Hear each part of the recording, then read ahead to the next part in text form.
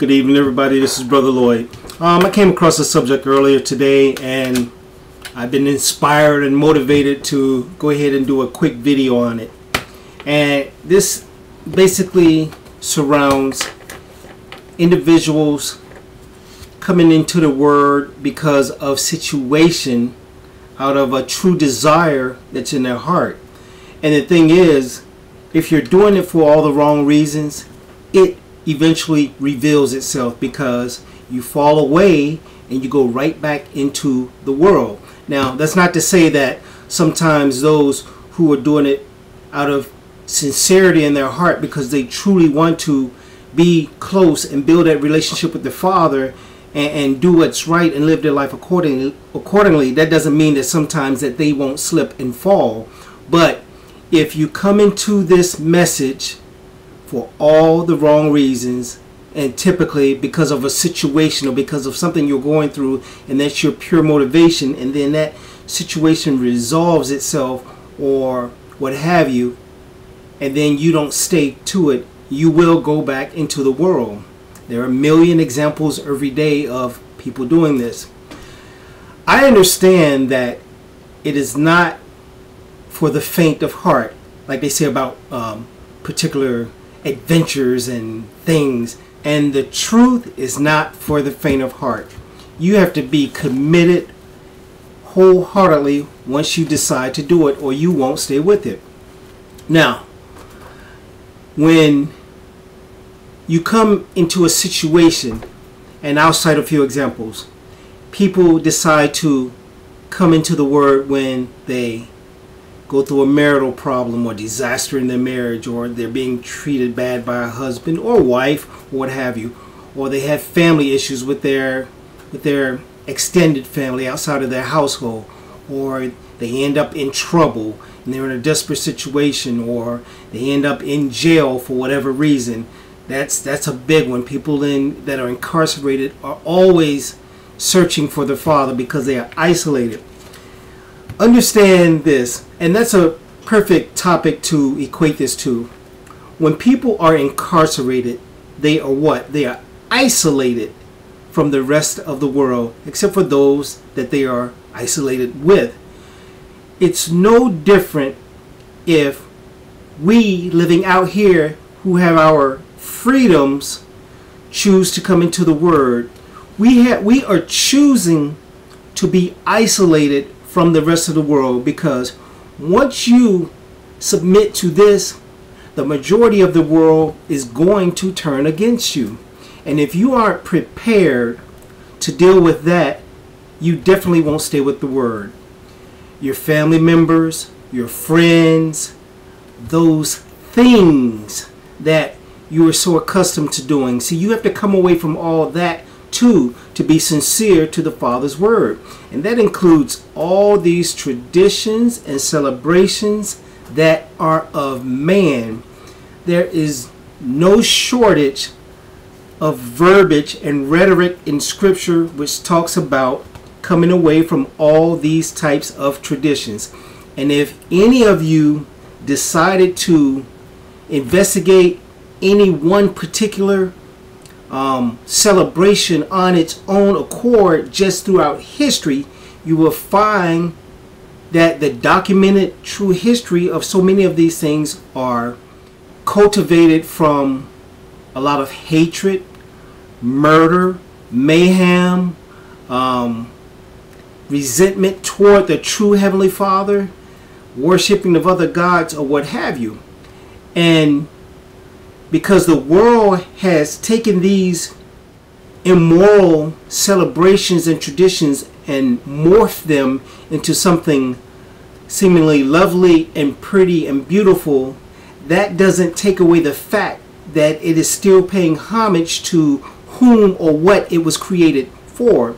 This is why the word tells us about these things. Come away from these things because you're doing nothing more than worshiping them. Christmas, Valentine's Day, birthdays, what have you, traditions and celebrations of man, they are all designed to distract And they do. They distract you from the Father. They distract us from the Father if we are giving into these things. But you find that you have to give up quite a bit to be committed to the Word. Now, it's interesting to even think that you can sincerely focus on the Father's Word, hear Him when He's trying to commune with you in whatever form, when you are so focused on the next birthday, the next wedding celebration, the next holiday, or what have you. There is no way that you can compete with the world and focus on the Father. The world will overrule because there's so much chaos in it that we'll see to it. Now, go with me to John 15 19. John 15 19. Verse 15, 19 reads like this. It reads, it says, If ye were of the world, the world would love his own. But because ye are not of the world, but I have chosen you out of the world, therefore the world hateth you. Now, that's one of a few scriptures that relays or conveys a message about being away from the world. See, when we come into the Word, when the Father takes us away from the world, the world starts to hate you and it shows through its resentment and behaviors towards you and it's usually through people now governments and laws and all of these other things play a part and they're going to get even worse as time goes on in coming against people that are sincere to this but for the most part now we're talking about people see individuals who don't subscribe to truly believing and living by the Father's word, they will come against you when you rebuke doing the things that they do and the things that you used to do when you are trying to stay sincere to the word. Like I said, birthdays, anniversaries, celebrations, holidays, all those things. Very few people of the world will give you any sort of respect, especially those who don't subscribe to loving the Father in any sort of way. And I'm speaking of those who don't really participate in church or at all, don't study scripture, no matter what their faith or denomination, whatever it is they believe. If they have no spiritual backing that they're standing on, they definitely won't give you a whole lot of respect, especially family and friends, because they have known you for who you are for so long. And now you are presenting them with a change. People don't like change. People fight change. People rebuke change. So they fight against the change that you're trying to present them with. Now, for those of you who are married in relationships, all of a sudden now you're coming with this brand new attitude that they didn't sign up for. And if you aren't stronger than they are in the world with your standing, they're going to win out and you're going to give back in because you're not going to want to lose the things of the world. You're not going to want to lose them. You're not going to want to miss out on that. You're not going to want to be isolated from all those around you. See, you either have to be isolated from those around you and embrace the Father and all He has. I don't know why you wouldn't. He has way more than the world will ever have to offer. But this is right now, this is temporal, this is what you can see, this is what you can touch. See, that's the trick. See, the enemy gives you all the things you can see, touch, feel, taste, smell, and have right now. The Father gives you promises of all these things to come, and therefore in eternity. But we are so caught up in the right now, in this temporal short span that we call life, that so many of us are willing to sacrifice eternity for this, what we have now. I don't get it. And if you go to 1 John 4 5, go with me to 1 John 4 5. It says, They are of the world, therefore speak they of the world, and the world heareth them. See, when we speak out of this, the world doesn't hear us. The world already hates us. If the world hated him, why don't you think it's going to not hate you if you subscribe to his word?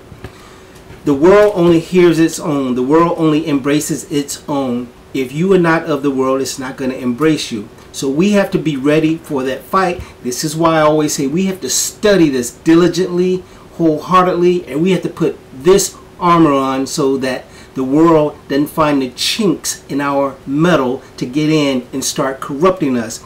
And so many of us come into this for the wrong reasons, and then we start dipping and dabbing back into the world. Well, I don't want to let the birthdays go. Well, I don't want to let this go and I don't want to let that go. Well, I can do this. See, because you start feeling like because you've been doing this for a while, you're strong enough to dibble and dabble, one foot in, one foot out in the world, and the world is not going to affect you. Let me tell you how it works.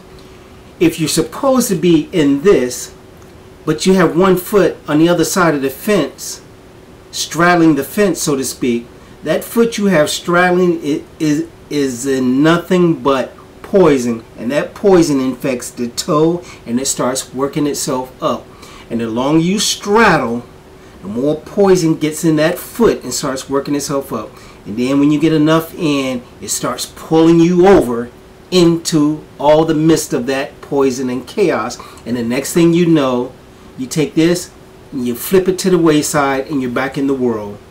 And then somewhere down the line something happens and then you come running back to this and it's a process it's a cycle. You start over and over again because you still never truly give in to this. You know some people do but they have to go through so much pain agony and disaster before they finally get it. What is it worth to you? That's the question you need to ask, ask yourself. I gave up the world.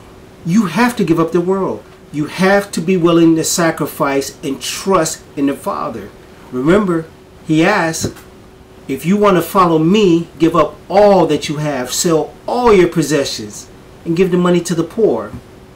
Sacrifice all you have and follow him and see if he won't take care of you. See, that's what we have to do. We have to have faith and trust in him. He keeps all of his promises. And with that rant, people, I am done. I could go on for hours. This is Brother Lloyd. I'm out.